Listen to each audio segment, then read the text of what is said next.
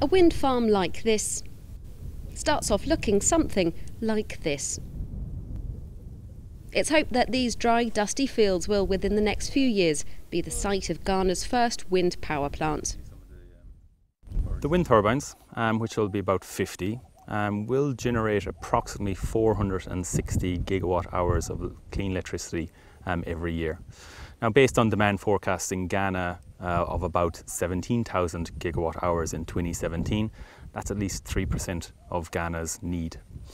Now, on a household level, um, we're able to supply uh, a near to 256,000 households here in Ghana. Ghana signed in a Renewable Energy Act in 2011. It committed to getting 10% of its energy mix from renewable sources like wind power. But although there's interest in renewable projects, they've been slow to materialise. Given that there's a current financial crisis and electricity crisis in the recent past, has more or less um, created uh, an investment environment which doesn't make banking power projects in Ghana uh, very easy. Environmental groups want to see more physical evidence of Ghana's environmental plans and quickly.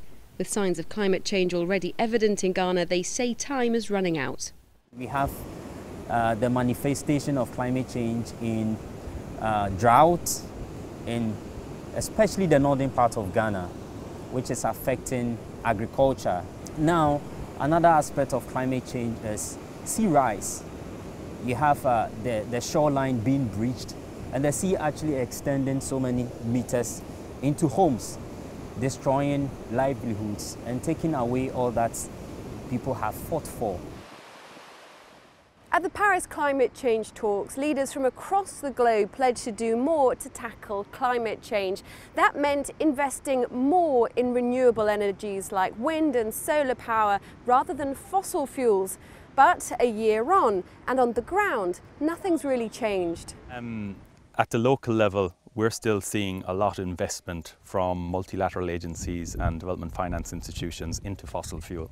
So you have to ask the question if the countries who sign up to agreements like the Paris uh, Agreement are actually looking at where they're donating money into the multilateral agencies and into their own development finance institutions and where that money is going. Um, because there is a lot of fossil fuel um, development in emerging markets like Ghana, um, and that then will see a priority of fossil fuel development at local level. Ghana's energy crisis last year saw regular 24 hour power cuts nationwide. In the run up to this year's presidential election, the government's pledged to make power in Ghana more reliable. But for now, there doesn't seem to be the funds to make it greener too. Katerina Vittozzi, CCTV, Accra, Ghana.